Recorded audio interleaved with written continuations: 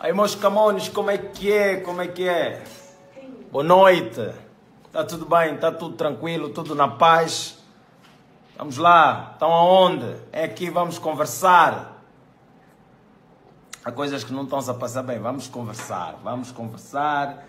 E o meu direto hoje mesmo é para falar desta situação, desta tensão criada por causa deste vídeo de uma violência gratuita que acho que todos nós temos mesmo que partilhar e epá, já passou o tempo de escravizar, acabou, acabou, foi, estávamos distraídos e conseguiram, obviamente, nos manipular. E desta vez não mais conseguirão. Não mais conseguirão porque se ainda há pessoas que alguma parte deste mundo acham que nós, enquanto raça negra, somos seres inferiores, estão muito mal enganados. É que estão mesmo muito mal enganados. E o mais triste nisso, eu vi discurso do tipo: volta para a vossa terra, se não estão a gostar da nossa pancada, regressem. Tipo, nós saímos daqui por livre, espontânea vontade para conhecer esses vossos sítios. Tipo, que o negro imigrou por livre, espontânea vontade, ou seja, conheceu essas terras. Nós estamos aqui bem, não conhecíamos, ninguém sabia onde é que era Portugal, Américas e, e outras coisas, nós não sabíamos. Hum? Portanto, meus caros irmãos, meus caros amigos, uh, acabou, acabou aquele tempo de do negro ser uh, espezinhado, ser escravizado, ser dominado por causa do tom da pele, esquece. Acabou. Qualquer, qualquer, mas qualquer tentativa, qualquer sinal de inferiorização da raça negra será tratado como se deve ser será tratado como se deve ser. Não, não, não, não, não, não, não. Escravizar mais. Nos tratar de novo como animais à mostra. Esquece isso. Esquece isso. E muita gente pode estar a achar que há uma intenção de proliferação de ódio. Mas se nos tratares com ódio, ódio receberás. Ódio receberás, porque já não, já não estamos mais na altura de olhar as coisas, de tratar, porque não o amor com o amor se paga, ou o amor vence tudo, porque não, não, não, não. São muitos anos, são muitos anos. Olha, olha que o fim da escravatura já foi há muito tempo e até agora algumas pessoas ainda não perceberam que isso acabou. Né? Então acho que há aqui um trabalho a se fazer muito forte. E algumas pessoas pensam que não, é um vídeo, não viste tudo.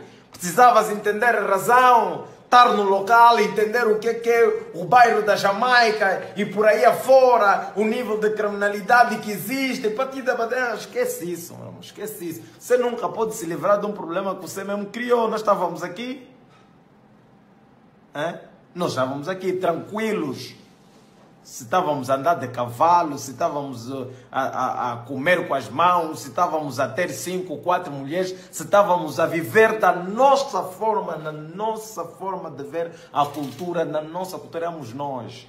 Mas o que as pessoas não percebem é que essa sincronia que houve, que tem resultados hoje relevantes, não pode ser, uh, não pode ser tratada assim. Não pode ser tratado assim. Vamos, ou vamos recuar a bem, ou vamos avançar a mal. Né? Ou vamos recuar a bem, ou vamos avançar a mal. Porque hum, é muito triste. E algumas pessoas até. Epá, eu costumo dizer sempre: quando nós, o, o negro está numa posição que qualquer coisa. Hein? Que qualquer coisa, qualquer atitude do género acaba sempre por uh, levantar essas reservas, acaba sempre por levar ao sofrimento, à história daquilo que nós já fomos submetidos anos passados. Né? Então é preciso ter sempre muito cuidado na hora de, de se fazer essas coisas. Né? E, epá, nós já vimos, nós já vimos, nós já vimos essa situação. Eu vi um vídeo em tempos de uns, de uns manos negros, não sei se eram angolanos ou moçambicanos ou cabo-verdianos, eu sei que eram negros, e tentavam filmar uma ação policial que para eles estava errada e foram imediatamente bloqueados pela polícia. Estás a filmar? Estás a filmar? Desliga este mambo! E foram logo retirados a cacetada. Mas eu vi um outro vídeo que havia um pula né, a filmar e nem, no polícia não teve a coragem sequer de lhe tirar o telefone da mão. E ele disse na cara de polícia: Estou a filmar, estou a filmar para poder mostrar porque eu é que pago o salário e eu tenho este direito de filmar. Mas com ele era pula, ninguém Ninguém teve a ousadia de eu tirar o telefone ou agir com ele com, com violência. Portanto, não venha aqui falar que nosso discurso é de vitimização. Nosso discurso não é de, não é de se meter na posição de vítima. O nosso discurso é com base a tudo que já aconteceu ao longo da história. E se você ainda não sabe, vai ler porque está na altura de você se aculturar um bocadinho mais, sabe ler, vai ler um bocadinho da história e vais perceber e não essa história manipulada, não, história de verdade. Entenda por que, que até hoje nós vivemos nas condições que nós vivemos. Porque enquanto vocês estavam aqui a escravizar, né? a escravizar e a levar do outro lado, vocês estavam a crescer economicamente, culturalmente, hein? estavam a crescer. Estavam a crescer e até hoje, até hoje, a África é o que é, graças ao quê? Hum? Alguns tentam alegar, porque não, africano, o preto mesmo, essa é mentira, meus irmãos. E nunca mais repitam isso. Às vezes, quando alguma coisa acontece, dizem, ah, não, preto não é mentira. Nós não somos nada assim. Nós não somos nada assim. Nós fomos adestrados, fomos adestrados a olhar-nos com inferioridade até a nós mesmos. Fomos adestrados assim. Digo adestrado porque éramos tratados mesmo como animal. Animal adestrado. Fomos adestrados a acreditar que somos raças inferiores. Fomos adestrados assim, a acreditar desta forma. Durante esses 400, 500 anos de escravaturas e mais outros de colonização e tudo, e tudo mais, fomos adestrados a acreditar que somos uma raça inferior mas acreditem que muitos de nós já mudamos esse paradigma, já pensamos diferente e temos a certeza absoluta que não somos inferiores a ninguém. Não somos. Se queremos tratar as coisas, então vamos, vamos nos tratar como seres humanos. E todo mundo sabe, e até Portugal, que é um país bastante evoluído e com uma, uma cultura bastante avançada, várias das nossas pessoas formaram-se nas vossas universidades e faculdades, consegue perceber o que é que cria realmente, o que é que faz alavancar a criminalidade em todo o sítio. Nós sabemos que o estado de extrema pobreza sempre foi um, um sempre um dos principais, dos principais pilares do aumento da criminalidade, seja onde for. Se tu queres ver as pessoas a tentarem a ganhar a vida de qualquer forma, ponham-os em extrema criminalidade. Aliás, ponham em extrema pobreza. Assim está correto. A pobreza, hum, o tratamento desumano, a falta de oportunidade correta para com essas pessoas vai sempre desencadear em criminalidade. O ser humano acaba por ser criminoso porque às vezes não encontra outras saídas e sente-se bloqueado Está entendendo? Uma coisa é eu tentar fazer alguma coisa para ganhar o meu pão de forma digna, de forma honesta e, ter, e, e, ter oportunidade para fazer isso. Outra coisa é eu ser bloqueado para poder desenvolver aquilo que eu sei fazer. Nós conhecemos várias pessoas que estudaram, se formaram, têm capacidades, mas por serem negros, não, não, não lhes é dado a determinar as, as devidas oportunidades. O que às vezes se faz é uma, uma como dizer, uma, uma, uma, uma malabarice, uma, uma, uma, uma, uma intenção de fechar os olhos, muitas das vezes, quando há assim, alguma distinção, algum negro para dizer: olha, aqui esse é preto, demos, estás a ver, nós somos bons, mas na verdade não é assim que acontece. Não é. Não é. E quero aqui dizer a todos os meus irmãos, seja onde vocês estiverem, ah, principalmente nos países da Europa, não se sintam inclinos. Não se sintam inclinos porque a renda está adiantada há muito tempo. Nós temos o direito de estar onde nós estivermos, em qualquer parte deste mundo, porque fomos levados para aí.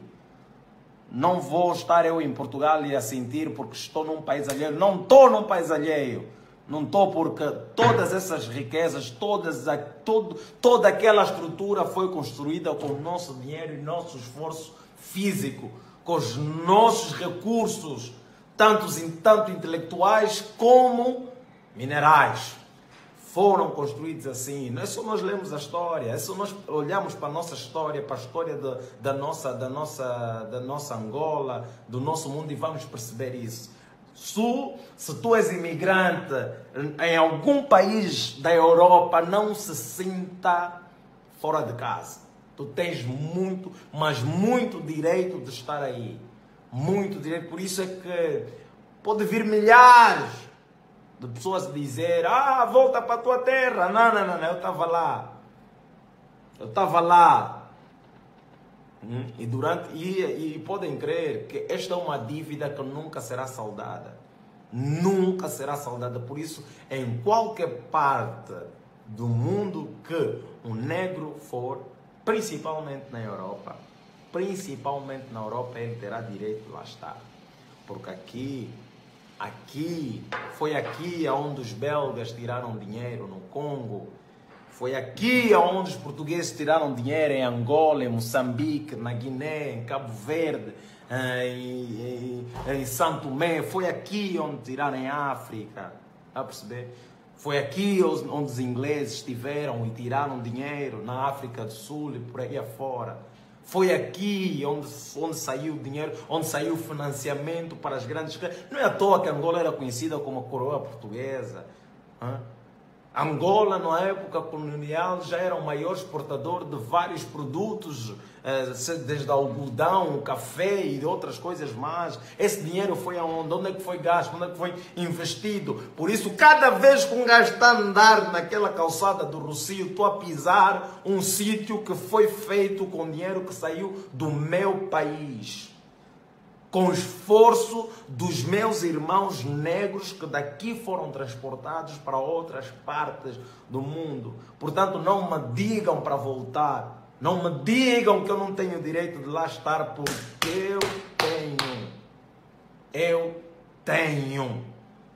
Esses 500 anos que nós andamos a dar, a dar, a dar, a dar, para além de recursos uh, uh, minerais, andamos a andar recursos intelectuais, porque os nossos intelectuais foram daqui levados, os nossos pensamentos, as nossas ideias foram daqui levadas.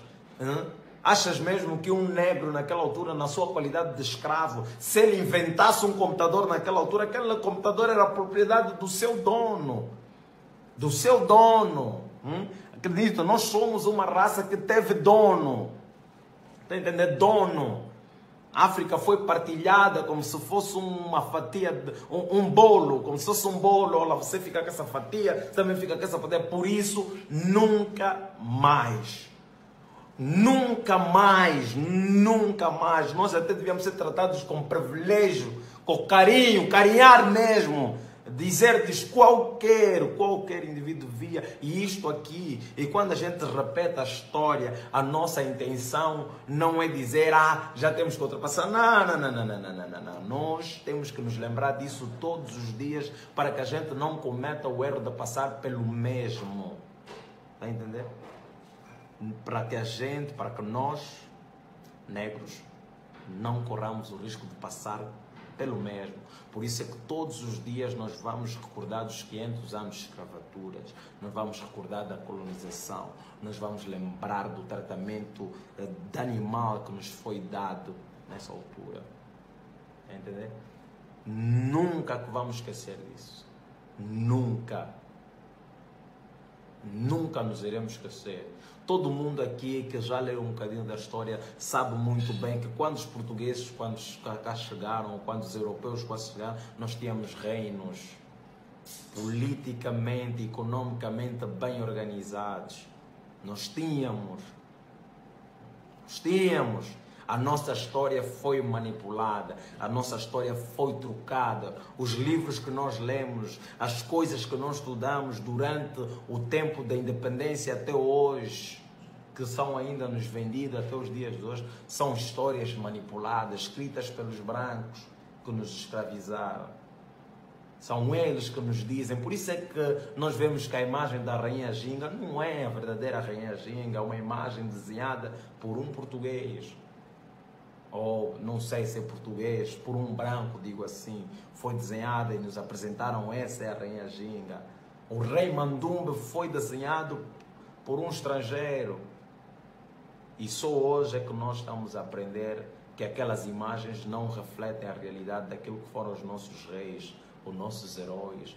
Deus sabe lá qual parte da história foi mais trocada, qual coisa não foi dita, qual coisa foi manipulada e hoje nós vivemos nessa escuridão.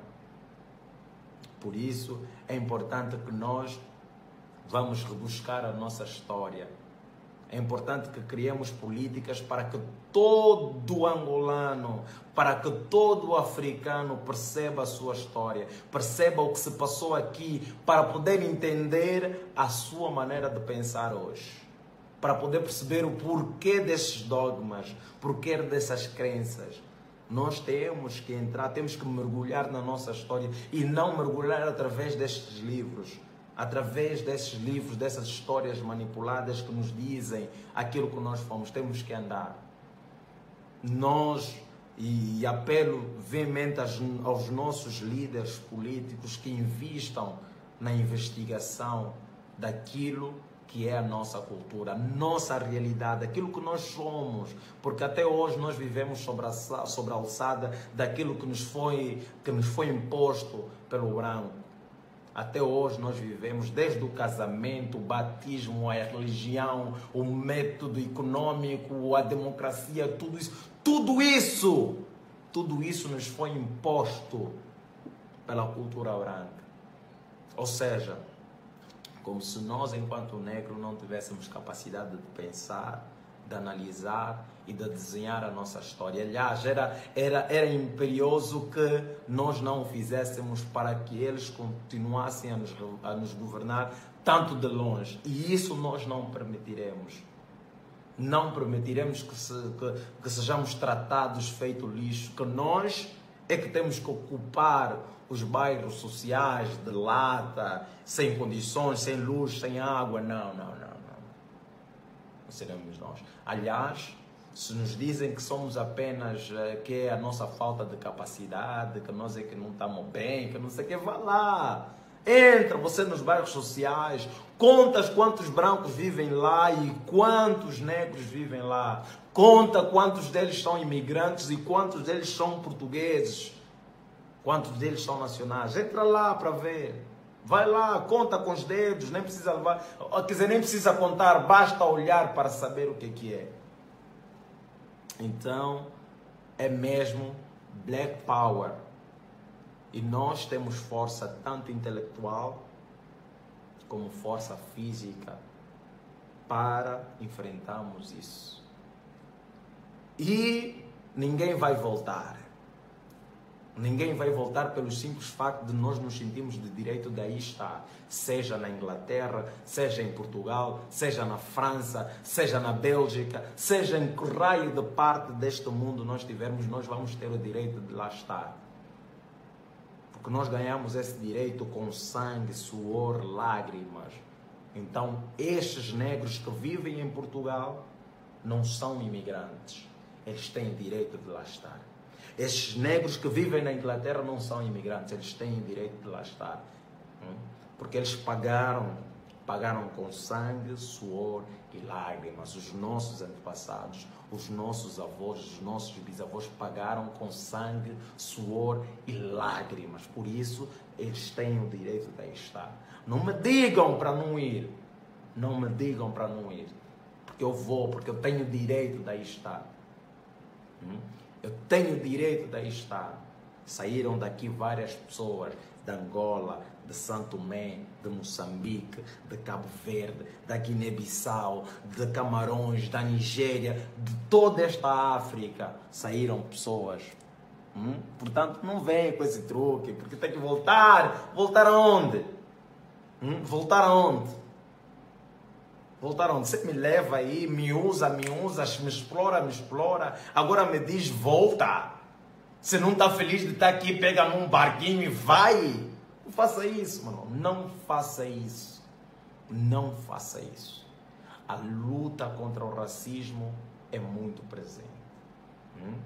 A luta contra o racismo, porque a única coisa que o negro consegue sentir até hoje de um branco é raiva, porque racismo não, porque o racismo é uma ideia de supremacia, é uma ideia de superioridade. É, quando se fala em racismo, o racismo não é simplesmente eu não gostar de um branco ou um branco não gostar do preto. Não é isso que está na base do racismo. O racismo está na, na questão de, de achar que o, pelo meu tom de pele eu sou superior a ti. É uma questão de superioridade, de supremacia branca. Eu sou branco, então eu sou superior. Hum? É essa a ideia do racismo. Mas racismo não tem nada a ver com gostar. Porque gostar e desgostar, todo mundo desgosta e gosta. Né? Há coisas que eu não gosto. Eu, se não te gosto, não te gosto. Não quer saber se é preto ou é branco. Não te gosto, não te gosto. Não é uma questão. De... Agora, quando você acha que por ser branco você é superior a mim, aí você é racista. Você é racista porque você tem a raça. Você, pela raça, você define logo quem é inferior, quem é, uh, quem é superior ou quem é inferior. Isto é racismo. Isto é racismo. Racismo não tem nada a ver com gostar. A partir do momento que eu sou inferiorizado pelo meu tom de pele, esta pessoa que o fez está a ser racista. Hum? E por isso é que os negros, os negros, eles não vivem nesses bairros de lata ou esses bairros sociais, como assim são chamados, né? não vivem nesses sítios por serem, é, por serem imigrantes eles vivem nesses sítios por serem negros. Porque imigrantes nós vimos vários. Na Europa nós vimos vários imigrantes brancos e não vivem nestes bairros. Portanto, não me digam que essas pessoas vivem nessas condições porque são imigrantes, porque vieram e estão ilegal. Não, não, não. Essas pessoas vivem nessas condições porque são negros. Essas pessoas têm os piores empregos porque são negros. Essas pessoas a única coisa que conseguem fazer aí é atender num, num shopping, ser sei lá o que, ser faxineiro por aí afora. Agora ter mesmo empregos de destaque, olha, são assim, raros, raríssimos. Quando aqui, quando aqui, na minha Angola, e vou falar da minha Angola porque eu vejo os brancos têm locais e trabalham em sítios privilegiados e não trabalham lá, obviamente, só porque são brancos. Também trabalham lá porque são capacitados, porque têm capacidades de estar lá. Né? Porque muitos têm qualidade técnica e prontos, e pela sua qualidade técnica, eles, eles estão lá. E muitos até se dão o luxo de nem sequer passar o, o seu know-how enquanto estão aqui a ganhar barlúrdios, a serem bem tratados, a chilarem como se deve ser nas praias de Cabo Ledo, a viverem vidas, a palpar pretas no rabos e xuxas de negras, a viverem no sul, em iates, em barcos, em grandes hotéis, a viverem em grandes vivendas em Talatona. Não são postos no Rangel, nem no Cazenga. Hum? O branco que vem para aqui trabalhar que vêm para aqui viver e, muita, e muitos deles até já estão ilegais, não estão no Sambiçanga, não estão no Catintom, não estão não, estão em sítios dignos, em sítios bons, também são imigrantes. Se nós fazemos aqui uma razia, amanhã se nós sairmos aqui procurar tudo o que é branco que está aqui, vamos encontrar muito deles ilegais. Tão ilegais e nem por isso são tratados desta forma. Não levam pancadas, não vivem em bairros de lata, não vivem, não vivem, não são tratados feito lixo, hum? não são tratados feito lixo, são tratados como pessoas, hum? são tratados como pessoas e não como lixo, está a perceber? Não são. E as pessoas não percebem que esse tipo de atitudes pode gerar complicações tanto diplomáticas tanto pessoais com pessoas que não têm nada a ver, assim, rápido.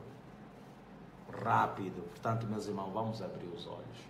Vamos abrir os olhos e vocês que aí vivem, não se sintam na, na vontade de voltar. Vocês têm o direito de estar aí. Nós vamos nos manifestar sempre que, foi, sempre que for possível contra essas ações de inferiorização da raça negra.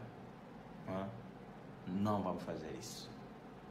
Não vamos fazer isso. Não querem bandidos, então criem condições condignas para as pessoas poderem ter uma vida também condigna. Entendeu? Só isso. Só isso e mais nada. O resto, meu irmão, esquece isso. Hum?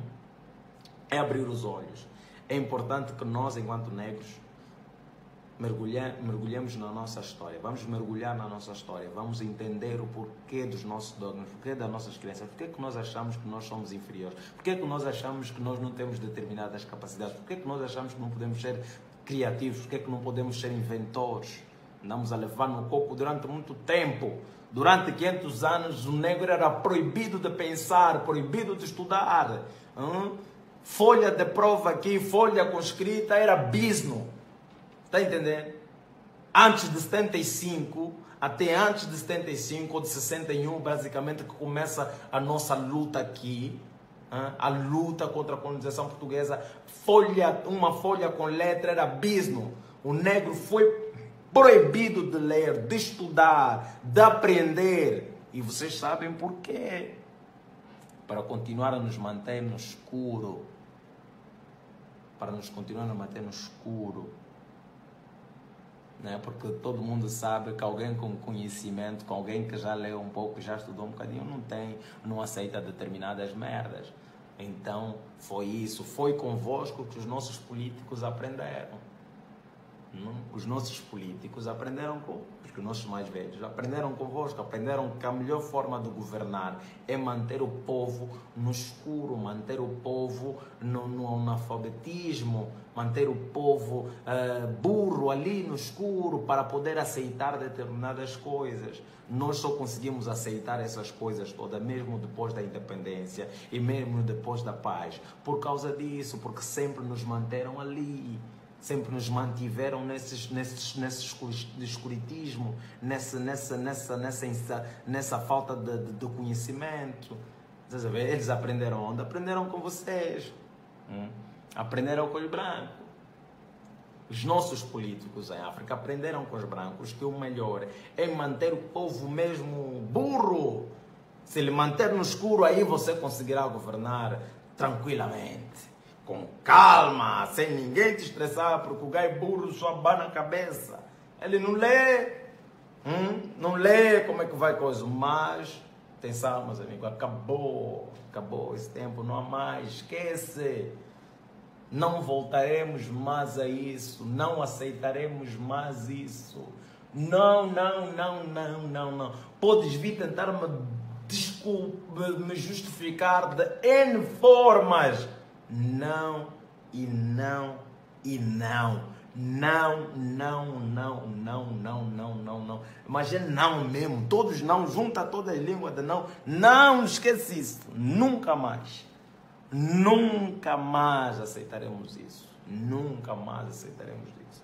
E por favor, não me digam que volta para a tua terra. Não faz isso. Não diga que volta para a minha terra, porque você que me levaram lá, você que mostraram, nós nunca não conhecemos Portugal assim, nos levaram à força, navios, churras, chicotes nas costas. Por isso, hoje eu digo que todos os negros espalhados pela Europa têm direito de estar onde estão. Aquelas terras estão pagas. Foram 500 anos de exploração 500 anos de exploração, ainda não vivemos tudo. Quando bater 500 anos, aí podemos voltar. Mas antes disso, não. Enquanto não bater 500 anos, não voltaremos. Não, não, não, não, não voltaremos. Continuaremos aí lá, porque aqueles prédios, aqueles prédios, aquelas ruas, aqueles edifícios, aquelas estruturas toda que está em Portugal foi paga com esse dinheiro aqui. Pagaram, saiu daqui. Saiu daqui nosso algodão, do nosso café, do nosso petróleo, do nosso diamante, do nosso gado, tudo os nossos, os nossos irmãos aí tiveram a construir aquilo, a cavar com as mãos, fazer aquelas estradas, fazer aquilo. Por isso, meu irmão, esquece, não mais voltaremos da burrice, nota. Agora também estamos a estudar, esqueceram. Abrimos livros, estamos a estudar, estamos a aprender, estamos a principalmente a compreender a nossa história e a compreender aquilo que se passou aí. E portanto, você até se pula, também é jovem e ainda não percebe bem, não entendeu bem da história, tira um tempo e vá ler. Hum? Vai ler e vais perceber o que é que nós estamos a falar. Aqui não é uma intenção de separação, não, que é uma intenção de entendimento e nós precisamos entender. São 500 anos de histórias que não podem ser apagadas assim, enquanto todos nós, enquanto humanidade, não aprendemos que cometemos um erro muito grande. Cometemos um erro muito grande porque não conseguimos entender o desconhecido. Hum? Eu sei que naquela altura chegaram, viram negro, e pá, esse é como nós, mas é preto, o que é que se passa? Nunca tinham visto mais, agora já perceberam que nós somos seres humanos, somos pessoas iguais a vocês, com cérebro e com as mesmas capacidades intelectuais, com tudo aqui a funcionar, cognitivas. Então, meu irmão, esquece isso. Abrimos o livro, abrir mesmo, aquilo é ler página, fazer chá com o livro, beber, aprendemos, também sabemos ler escrever e também temos discernimento.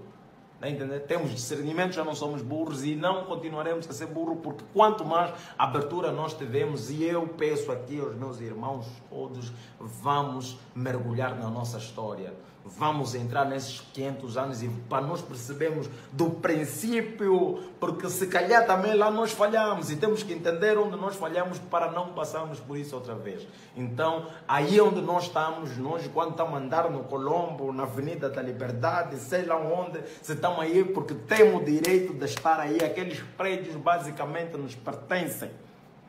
Aqueles prédios nos pertencem, aquelas estruturas nos pertencem, porque o dinheiro que foi construído isso nós saiu daqui, daqui, muitas das mãos que construíram aquelas, aquelas estruturas, aqueles edifícios, são nossos irmãos que tiveram aí a trabalhar sem salário. O salário do meu avô ainda tem que receber, meu tetaravô, tem que receber salário. Esse salário tem que ser pago com juros devido ao atraso. Ainda por cima, porque as condições de trabalho não eram condignas. Tem multa para pagar. Hum, tem multa para pagar, porque andaram a trabalhar mal, andaram a escravizar mesmo, então ainda temos salário por receber. Hum, todo branco a ver um negro já tem que dar um dinheiro, mesmo assim, de leve, tem que abrir caminho. Pelo, e sim, essa é uma culpa que tem que ficar ali, tem que ficar e tem que ser lembrada todos os santos dias. E nós vamos todos os santos dias dizer: não! E não há mais medo, não há nada, esquece isso. Se é para se matar, vamos se matar nós todos, mas não. Não, não. Vamos ter que aprender a conversar. Até conosco, conversar, conversar. Temos que ter diálogo, temos que aprender a falar. Levantar a mão, não conversar.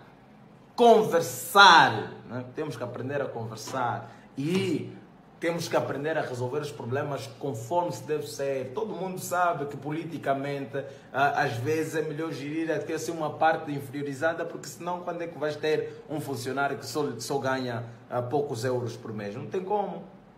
Hum. É tipo nós aqui, nós temos pessoas que ganham um pouco. Por quê? Ganham pouco porque também foram mantidos na escuridão durante muito tempo.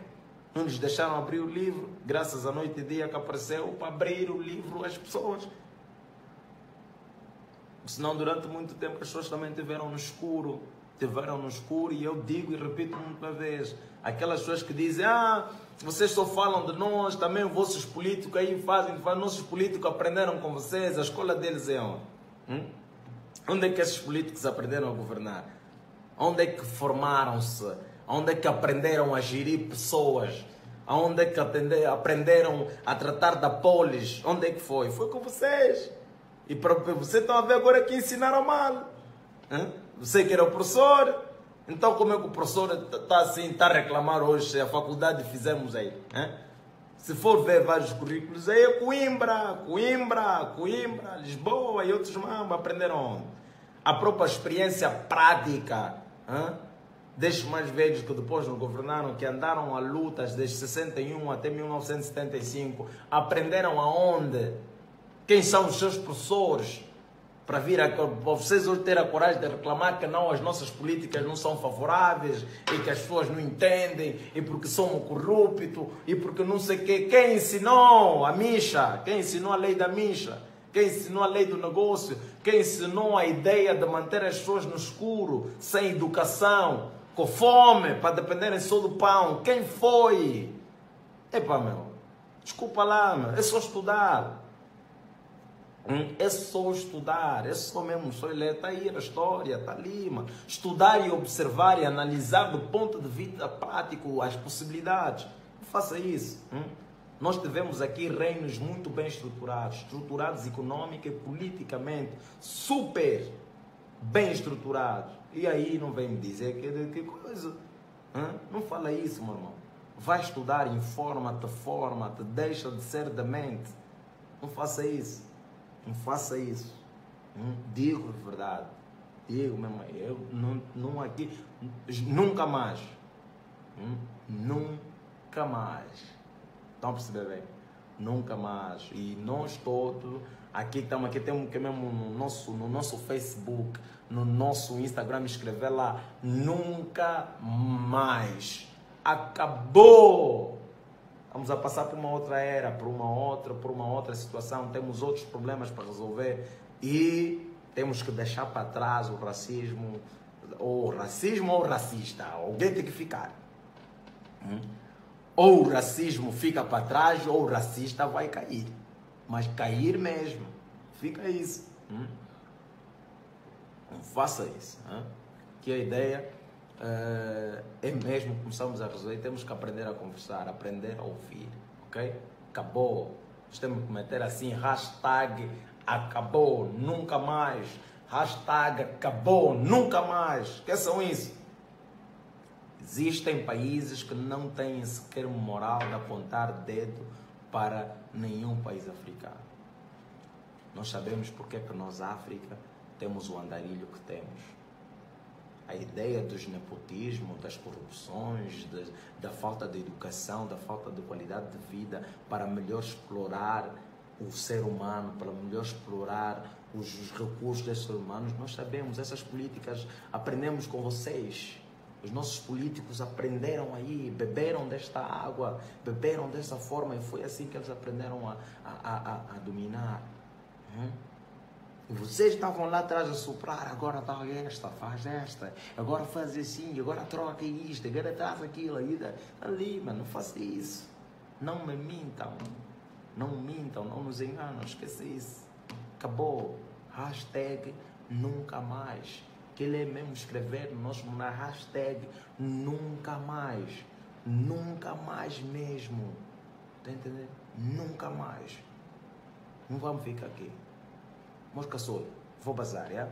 descansar, vamos mergulhar na nossa história, na nossa africanitude.